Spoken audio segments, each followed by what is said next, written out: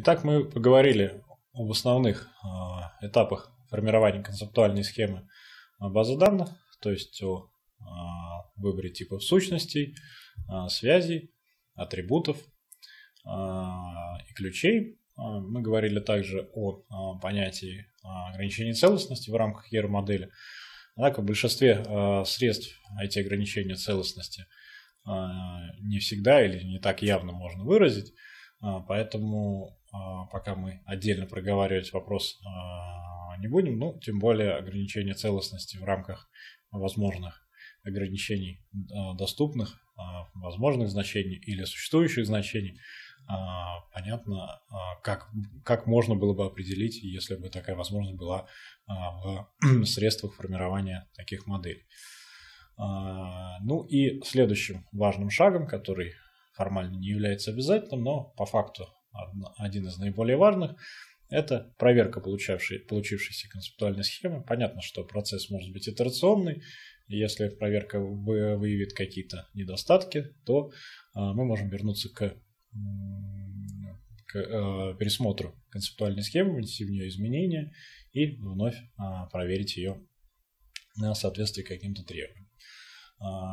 Проверка не является формальным этапом. Некоторые части ее могут быть автоматизированы, но а, не все. И а, в большинстве случаев это а, операция, которая требует участия проектировщика.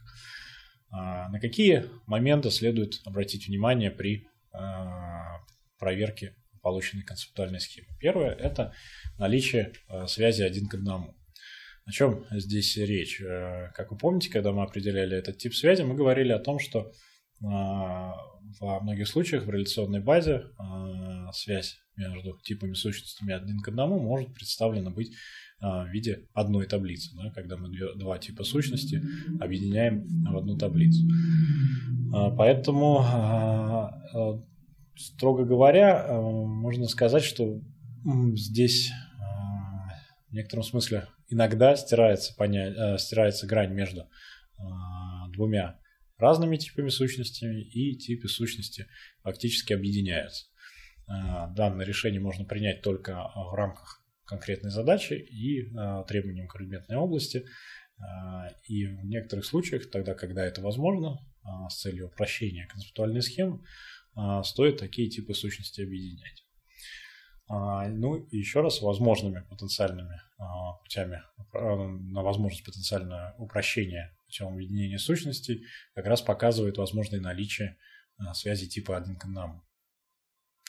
Следующий момент – это наличие избыточных связей. То есть если мы, например, видим несколько связей между одними и теми же типами сущностей, да, они имеют, могут иметь разную семантику, а, и а, так бывает, когда мы между двумя а, одним и тем же типами сущности организовываем несколько связей, когда они несут именно разную семантическую нагрузку, то есть имеет совершенно разный смысл.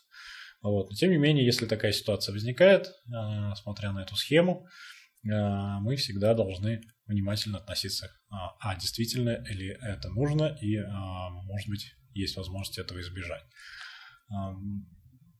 Многие, во многих случаях проверка а, на наличие циклических связей а, может быть автоматизирована с помощью кейс-средств, которые позволяют проектировать а, концептуальную схему базы. Проверка выполнимости пользовательских операций – это некий набор мысленных экспериментов, который позволяет проговорить все те операции, которые необходимо выполнить а, а, для пользователя каждой роли. Как мы помним, а, мы собирали требования с каждого с пользователя каждой роли для описания предметной области и формирования на основе этого описания концептуальной схемы. В результате полученная концептуальная схема, естественно, должна удовлетворять этим требованиям, и мы должны в рамках проверки убедиться, что все требования пользователя действительно выполняются, и э, хорошим вариантом является а также проверка выполнимости пользовательских транзакций. В данном случае мы не а, говорим о транзакциях в терминах АБД или а, каких-то информационных систем, мы говорим о неком наборе операций, которые пользователи считают условно или безусловно неделимым, и мы должны проверить, что этот набор операций возможно выполнить в рамках нашей концептуальной схемы. Это важная часть проверки, э, потому что, в первую очередь, ради выполнения пользовательских требований мы создаем нашу базу данных, поэтому ей нельзя в коем случае пренебрегать. А для сложных и взаимосвязанных структур такие проверки могут составлять существенную часть времени на, собственно, саму проверку и э, обсуждение результатов с пользователями, потому что так или иначе, э, проектируя концептуальную схему, можно уже сделать первые выводы о том, э, какие пользовательские представления будут сформированы в э, базе данных, и э, можно говорить о том, что э, какие-то требования пользователя могут быть видоизменены по э, причинам того, что они могут конфликтовать с какими-то другими требованиями других пользователей. И если такие конфликты случаются, изменения в схему, а, концептуальную схему вносятся, а, необходимо обсудить их а, с теми пользователями, которые, требования которых поучаствовали в данном конфликте.